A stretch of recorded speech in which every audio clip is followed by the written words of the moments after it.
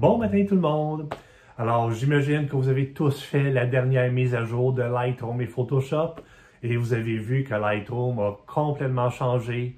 Euh, les menus pour les outils de retouche locale, le pinceau, le filtre radial, le fil dégradé, tout ça a complètement changé.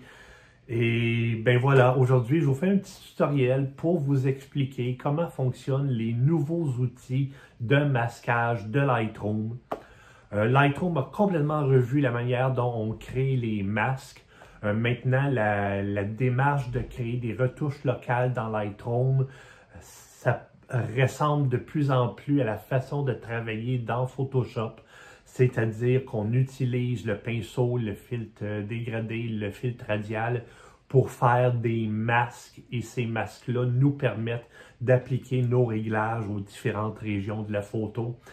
Alors, euh, je vous montre, je vous ai fait un petit tutoriel où je vous explique comment utiliser ces nouveaux outils-là de Lightroom. J'ai fait le tutoriel en essayant de vous expliquer comment penser comment raisonner lorsque vous êtes dans Lightroom et que vous voulez créer des masques pour faire des retouches locales sur vos photos. J'ai essayé d'être le plus clair possible. Euh, je donne des exemples euh, dans différentes photos.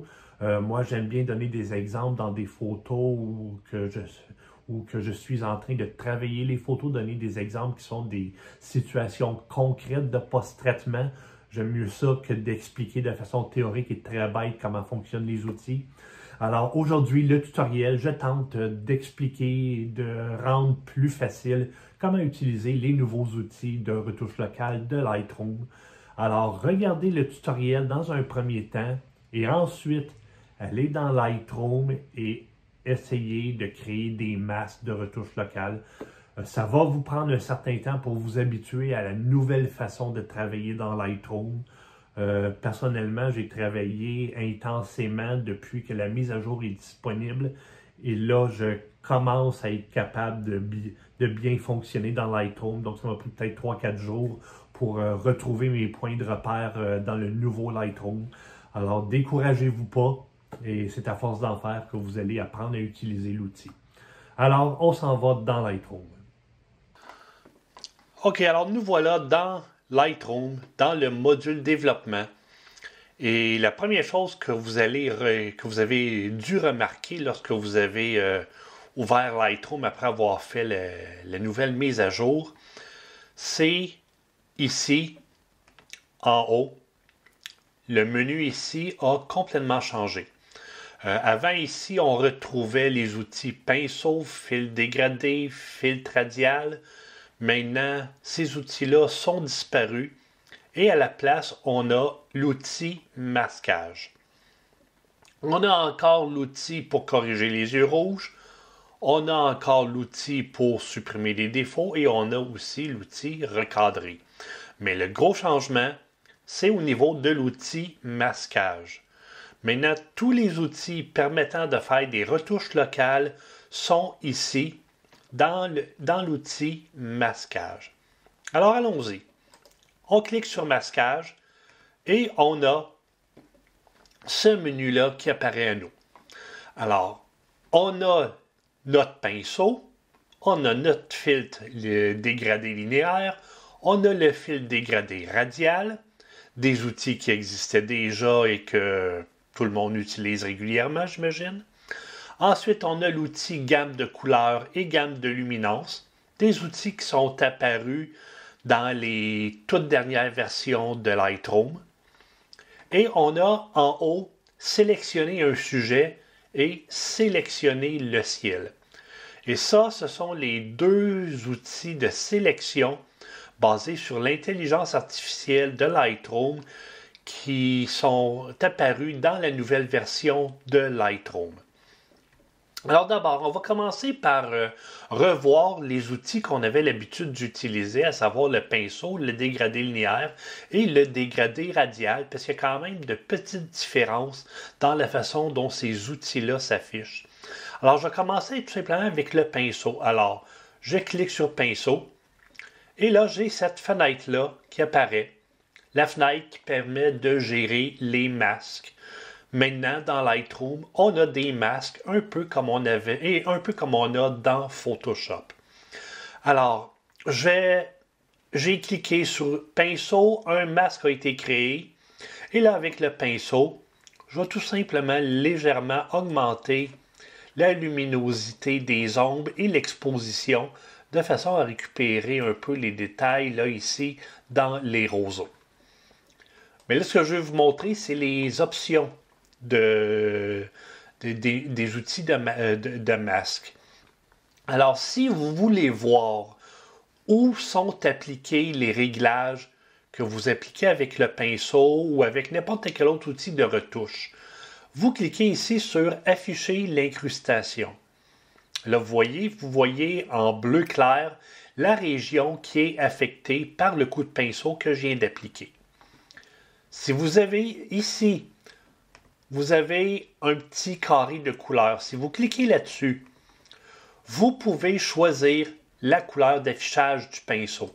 Alors, vous voyez, vous avez toute la gamme de couleurs que vous pouvez utiliser. Alors, vous choisissez la couleur que, que vous voulez utiliser pour afficher là où les outils de retouche sont appliqués. Alors, personnellement, j'aime bien utiliser la couleur bleu cyan, très saturée, parce que c'est une couleur qui se voit très bien. Vous pouvez également euh, contrôler l'opacité de l'affichage. Alors si je diminue l'opacité, vous voyez l'affichage devient transparent. Si je le diminue encore plus, là c'est à peine si on peut voir l'affichage. Et si je le mets complètement à droite, bien là l'affichage devient très opaque. Alors moi ce que j'aime faire, c'est mettre l'opacité assez opaque, vous voyez, comme ça ici. Comme ça, je vois très bien euh, où sont appliqués les réglages. Vous pouvez également dire à Lightroom que vous voulez que l'affichage en bleu montre où est appliquée la retouche, comme c'est le cas ici, zone affectée, ou l'inverse, vous pouvez dire à Lightroom que l'affichage en bleu affiche les régions de l'image qui ne sont pas affectées par la retouche. Alors, moi, personnellement, j'utilise toujours la zone affectée. L'affichage en bleu me montre la partie de l'image qui est affectée par la retouche locale que je suis en train de faire. Si vous allez en bas ici, vous avez mode d'incrustation. En ce moment, c'est incrustation couleur. Vous pouvez demander à Lightroom d'afficher l'incrustation dans une image en noir et blanc, vous pouvez demander d'afficher.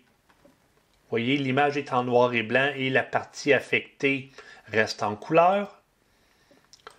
Vous pouvez lui demander d'afficher l'image en noir et vous allez voir correctement uniquement la zone affectée. Afficher en blanc, toute l'image devient blanc et vous voyez uniquement la partie qui est affectée. Ou blanc sur noir, les régions blanches sont les régions affectées par le réglage. Alors moi, j'utilise toujours l'incrustation de couleur parce que c'est elle qui est la plus visible. Ensuite, ici, vous avez euh, affiché les épingles d'édition. Moi, je choisis toujours, comme ça, je vois toujours mes épingles d'édition. Et là, ce qui est bien, c'est que l'affichage de l'épingle vous permet de voir quel outil est appliqué par cette épingle-là. Alors, la retouche que je viens de faire ici, c'est un coup de pinceau. Ici, vous regardez l'icône qui apparaît, c'est un petit coup de, c'est un petit pinceau. Alors, l'icône me dit que la retouche ici a été faite avec un pinceau. Si j'utilise un autre outil comme le fil dégradé ou le filtre radial, il va y avoir un petit icône qui va apparaître m'indiquant que c'est un fil dégradé, un filtre radial ou autre chose. Alors, ça permet de se retrouver plus facilement dans les différentes retouches locales qu'on peut appliquer sur l'image. Finalement, je reviens dans la fenêtre de masque en haut. Vous pouvez nommer les masques. Alors, par défaut, euh, ça s'appelle masque 1. Alors là, ce masque-là sert à éclaircir les roseaux. Alors, je double-clique dessus et je nomme mon masque éclaircir roseau. Et voilà, éclaircir roseau euh, s'affiche ici. Alors, c'est, euh, le fait de pouvoir nommer les masques va vous aider à vous retrouver dans votre travail lorsque vous avez plusieurs masques. Maintenant, si vous voulez, euh, maintenant, appliquons un filtre radial. Alors, lorsque vous voulez appliquer un autre filtre, un autre outil de retouche locale, vous cliquez sur Créer un nouveau masque, le plus qu'il y a ici. Vous cliquez là-dessus et là, vous choisissez le filtre radial. Voilà. Et là, un onglet Nouveau masque apparaît et vous placez votre filtre radial là où vous voulez. Alors, vous, avez des points de contrôle qui vous permettent d'ajuster la taille du filtre radial. Vous pouvez le déplacer, vous pouvez ajuster le dégradé comme ça ici. Vous pouvez le pivoter. Alors, en ce moment, je vais placer un filtre radial comme ça ici. Voilà. Je m'en vais le tourner un petit peu. Et je veux que mon filtre radial euh, me permette d'assombrir l'image autour des roseaux et des arbres. Alors, en haut ici, je clique sur inverser. Là, vous voyez, euh, le filtre radial s'est inversé et les réglages que je vais appliquer vont affecter ce qui est à l'extérieur du filtre radial, comme ça ici. Voilà. Lorsque vous avez terminé de jouer avec, euh, de créer des outils de retouche locale, vous cliquez en bas sur Alors, les outils qu'on avait l'habitude d'utiliser, euh, le pinceau, le filtre radial, le fil dégradé, se manipulent comme on avait l'habitude, à la, différence que maintenant, on doit les sélectionner dans le menu masque. Euh, si je veux ajouter un fil dégradé, par exemple, alors je clique sur Créer un nouveau masque, Dégradé linéaire, et là je place mon fil dégradé, et je vais l'utiliser pour, disons, assombrir le haut de l'image. Voilà, comme ça ici. Et là, je pourrais nommer ce filtre-là ciel. Et voilà. OK. Maintenant, on va aller dans les nouveaux outils de retouche locale qui sont apparus dans Lightroom. Alors, je retourne dans mon onglet masque et là, je vais éliminer tous les masques que je viens de créer. Alors pour faire ça, je viens ici, en bas, supprimer tous les masques. Et voilà, tous, mes masques sont disparus. Alors, le premier outil de sélection basé sur l'intelligence artificielle, c'est un outil de sélection qui va être très pratique pour ceux qui font du paysage. Alors, en ce moment, ma photo a été travaillée. Et là, je regarde ma photo et le ciel est un petit peu trop lumineux. Je voudrais assombrir mon ciel. Alors, vous avez ici dans les nouveaux outils de sélection, vous avez sélectionné le ciel. Alors, vous cliquez là-dessus. L'intelligence artificielle analyse votre image et automatiquement, un masque est créé, un masque qui affecte votre ciel. Et si vous voyez, et si vous regardez ici, il y a un petit symbole qui indique que ce masque-là, c'est un masque de ciel. Et là, vous allez pouvoir, et là je peux ajuster l'exposition de mon ciel. Voilà. Alors lorsqu'on fait du paysage, cet outil-là qui permet de sélectionner en un seul clic le ciel de la photo, c'est vraiment génial. Ça vient faciliter la tâche pour retoucher son ciel. Alors là, je m'amuse à travailler mon ciel. Voilà comme ça ici et je pourrais nommer le calque ciel dramatique. Et voilà. Maintenant, on va aller sur une autre photo. On va prendre la photo ici. OK, alors ici, j'ai ma feuille d'érable. Et là, qu'est-ce que je veux faire? Je veux sélectionner la feuille d'érable de façon à faire, de façon à pouvoir assombrir tout ce qu'il y a autour de la feuille d'érable. Alors pour faire ça, je vais utiliser l'outil sélectionne, sélectionner un sujet. Alors je clique là-dessus, je laisse l'intelligence artificielle travailler. Et voilà la sélection faite par l'intelligence artificielle. Maintenant, je veux que mon masque affecte qu'est-ce qu'il y a autour de la feuille d'érable. En ce moment, mon masque affecte la feuille d'érable. Moi, c'est l'inverse que je veux faire. Alors, je vais sur Sujet, je clique sur les petits points qui y a à droite de Sujet et je fais Inverser. là, vous voyez, le masque maintenant affecte qu'est-ce qu'il y a autour de la feuille d'érable. Maintenant, si on regarde, on voit qu'il y a des parties de l'image qui n'ont pas été sélectionnées. Comme ici, il faudrait que ça soit affecté par le masque, et ici également, ici aussi. Alors, l'intelligence artificielle, étant donné que c'est une image dans laquelle il y a beaucoup de lignes, l'intelligence artificielle a un petit peu de misère à bien détecter les contours de ma feuille d'érable et pour une raison quelconque, elle a sélectionné les parties de la photo qu'il y avait ici et ici. Alors, on va devoir corriger ça. Donc, qu'est-ce qu'on veut faire? On a une sélection de fait. Tout ce qui est en bleu, c'est une sélection. Et on veut ajouter à notre sélection les parties de la feuille qui sont ici. Alors, on clique sur Ajouter. On clique sur l'outil avec lequel on va faire l'ajout, donc le pinceau.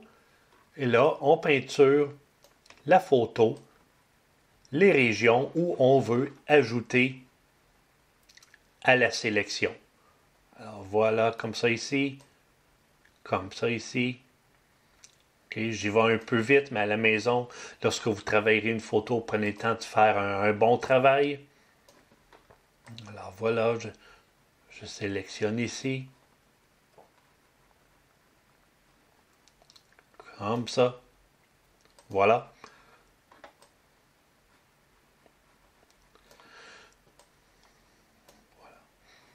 Et maintenant, je peux assombrir la photo autour de ma feuille d'érable, comme ça ici. Et le résultat final est vraiment très bon à voir. Alors, l'outil de sélection de sujets va grandement nous faciliter la tâche lorsqu'on veut euh, altérer de façon précise un sujet ou altérer de façon précise qu'est-ce qu'il y a autour du sujet.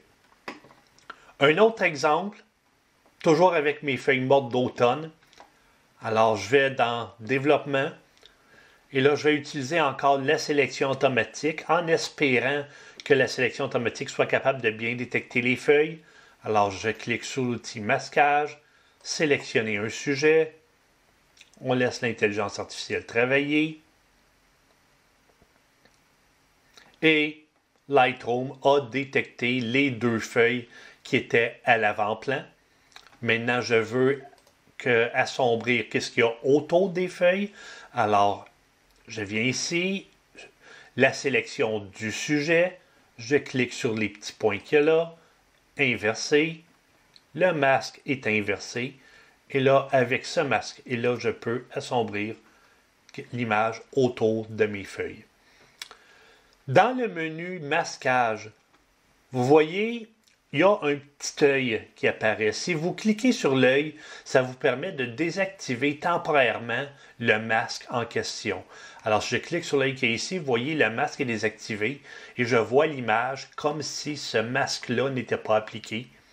Et si je reclique sur l'œil, le masque s'active à nouveau. Zoom citrouille. OK, alors ici, c'est une photo qui a été prise au marché Jean Talon. Euh, c'était juste avant l'Halloween, alors toutes les citrouilles étaient en vente.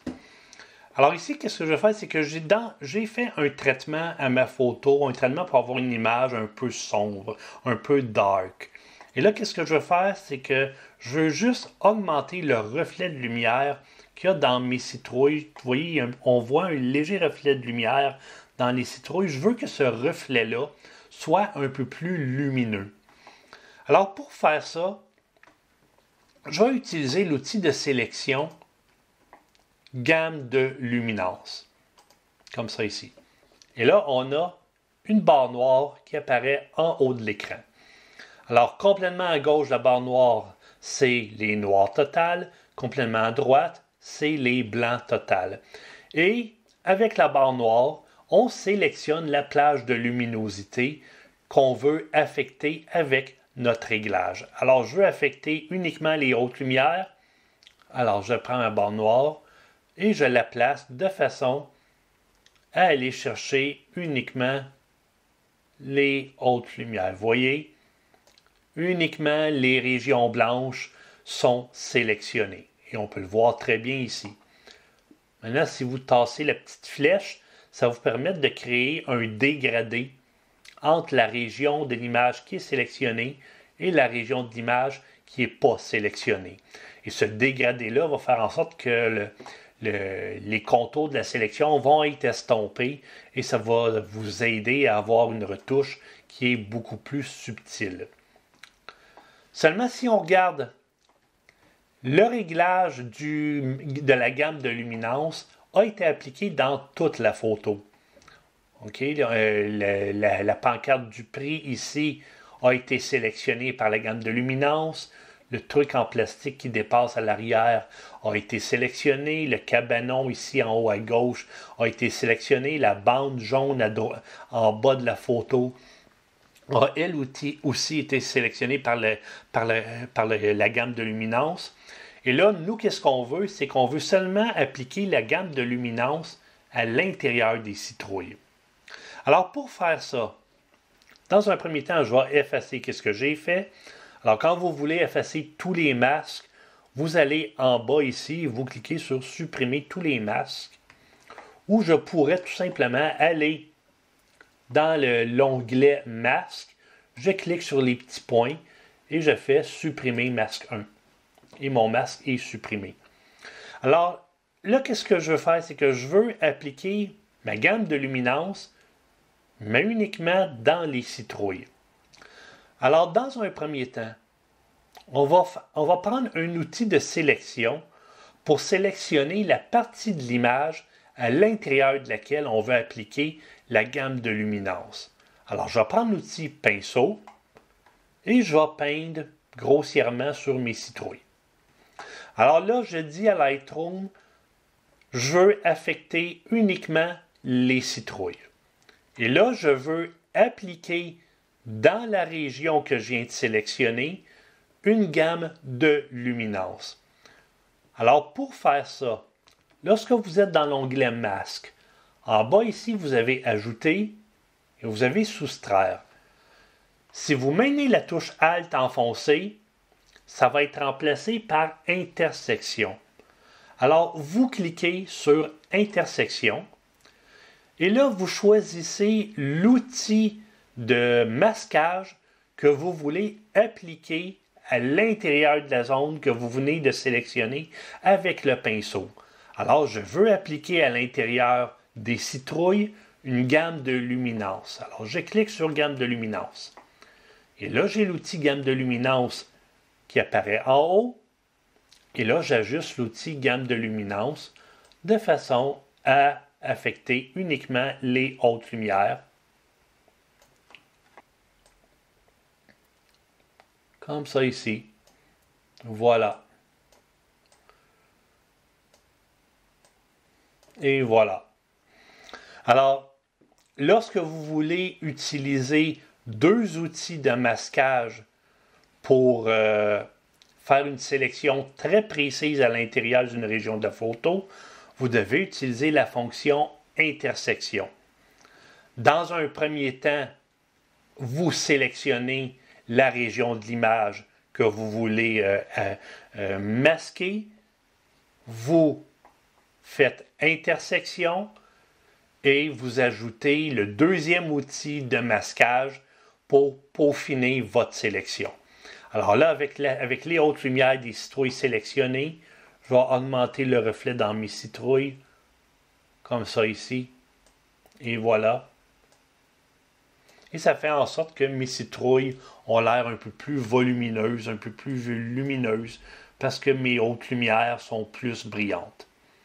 Alors, sans mon masque, avec mon masque. Ok, alors, une photographie que j'ai prise sur la rue Atwater tôt le matin. Le soleil est en train de se lever. Le soleil est au bout de la rue là-bas. On voit les ombres qui s'en viennent vers nous. Alors ici, qu'est-ce que je veux faire? Dans un premier temps, je veux légèrement éclaircir les personnages qui sont à l'avant-plan et je veux assombrir le haut de la photo ici. Je vais assombrir les hautes lumières qui sont dans le haut de la photo. Alors, je vais commencer par m'occuper des personnages à l'avant-plan. Alors, je vais dans l'outil masquage. Je clique sur sélectionner un sujet. On laisse Lightroom travailler. Et voilà, Lightroom a été capable de clairement sélectionner les personnages à l'avant-plan. Et là, qu'est-ce que je vais faire? Je vais légèrement augmenter la luminosité des ombres. Alors, dans une situation comme ça ici, c'est important de rester euh, cohérent dans notre retouche. Autrement dit, de respecter la luminosité de la scène qu'on a photographiée. Alors ici, on est dans une, dans une situation de contre-jour.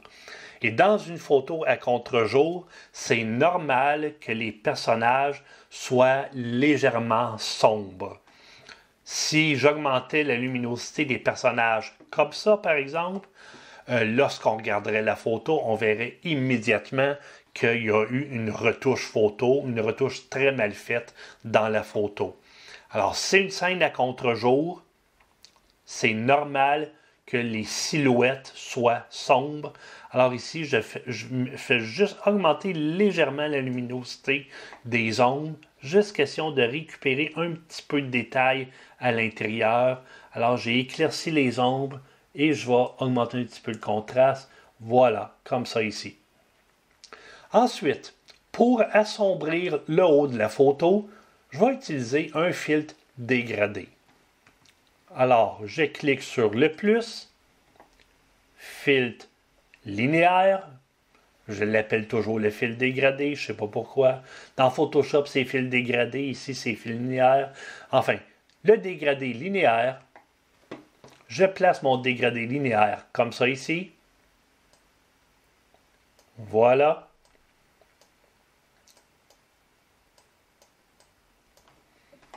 Et avec mon dégradé linéaire, je vais assombrir les hautes lumières euh, comme ça ici, question de récupérer un peu de détails.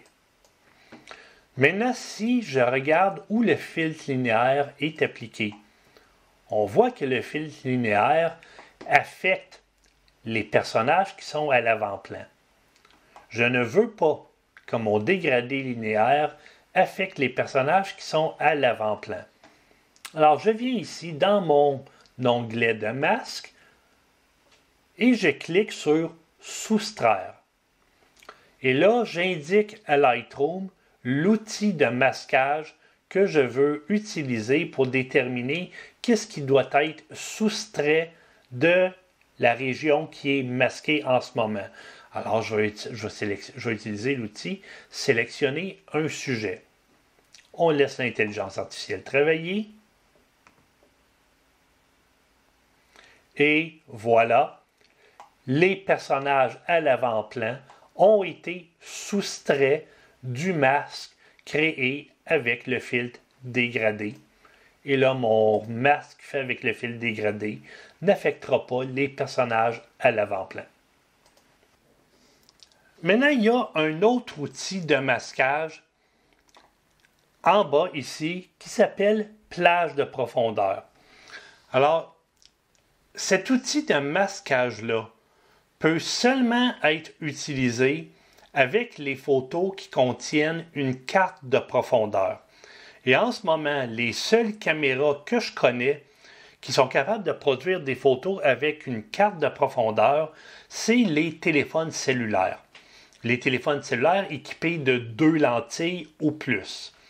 Alors, qu'est-ce que c'est en gros une carte de profondeur? Une carte de profondeur, c'est une information qui est encodée dans le fichier photo qui va permettre au logiciel de traitement de l'image de déterminer la profondeur qu'il y a dans la photo, de déterminer quels objets dans la photo qui sont à l'avant-plan, quels objets qui sont dans un plan moyen et quels objets qui sont complètement à l'arrière-plan.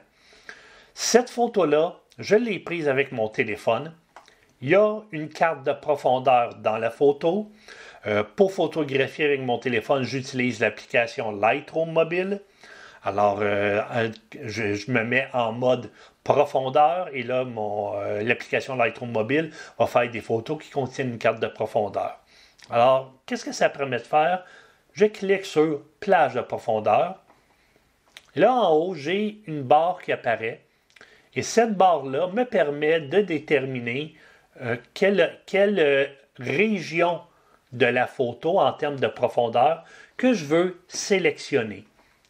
On a une pipette. Avec la pipette, on peut cliquer sur euh, le sujet qu'on veut sélectionner. Alors en ce moment, moi, ce qui m'intéresse, c'est la brioche à l'avant-plan. Alors je clique sur la brioche. Et vous voyez, ici, on a une image qui présente une silhouette des différents éléments qu'on voit dans la photo. Alors ici, vous voyez, on a une petite silhouette qui correspond à la silhouette de la brioche. Après ça, à l'arrière, une autre silhouette qui correspond à celle de la tasse de café qui est à l'arrière-plan.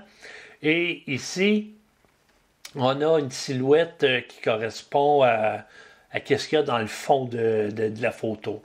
Alors, en ce moment, la zone, la zone sélectionnée, c'est la partie de l'image qui est à l'avant-plan. Alors, je m'en vais tout simplement m'assurer d'avoir un dégradé délicat. Voilà, comme ça ici.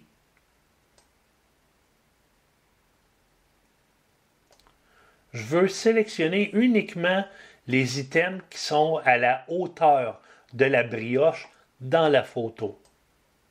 Comme ça ici. Voilà. Alors j'ai sélectionné avec la plage de profondeur ma brioche et un petit peu la tasse de café qui est à l'arrière-plan. Maintenant, je vais aller ici et je vais inverser le masque. Alors, on clique sur, on clique sur les petits points qui est ici. On fait inverser. Et là, le masque est inversé. Et avec ce masque et avec ce masque-là, je m'en vais assombrir l'image. Et vous voyez, ça me permet d'assombrir qu'est-ce qui est à l'arrière-plan de la photo. Ça me permet d'appliquer un réglage en fonction de la profondeur qu'il y a dans la photo. Et là, vous voyez, en appliquant ce réglage-là, on a comme l'impression qu'il y a un projecteur qui éclaire la brioche à l'avant-plan et la lumière s'estompe au fur et à mesure qu'on recule dans le fond de l'image. Alors voilà, comme vous voyez, maintenant la manière de travailler dans Lightroom complètement changé. Euh, soyez patient, faites-en, prenez-vous une photo et dites-vous, je vais tenter de créer un masque pour telle région de la photo et essayez de créer votre masque? C'est un petit peu frustrant au début, mais lorsqu'on comprend comment la logique des masques fonctionne, c'est somme toute assez facile à faire. Euh, j'ai beaucoup aimé le masque de profondeur qu'on peut faire maintenant dans Lightroom. Euh, pour l'instant, comme je disais dans le tutoriel, les seules caméras que je connais qui sont capables de faire des photos qui contiennent une carte de profondeur, c'est les caméras des téléphones intelligents. Mais si cette fonction-là de carte de profondeur apparaît dans les caméras réflexes ou les caméras euh, sans miroir, ça va être une manière de créer des masques qui va permettre de faire des choses vraiment très intéressantes dans le post-traitement. Alors, euh, je me croise les doigts pour que bientôt on ait des caméras réflexes ou sans miroir qui puissent faire des cartes de profondeur dans les photos. Alors, euh, je vous dis, soyez patient avec le nouveau Lightroom. Vous allez y arriver. Et à la prochaine. Bye bye.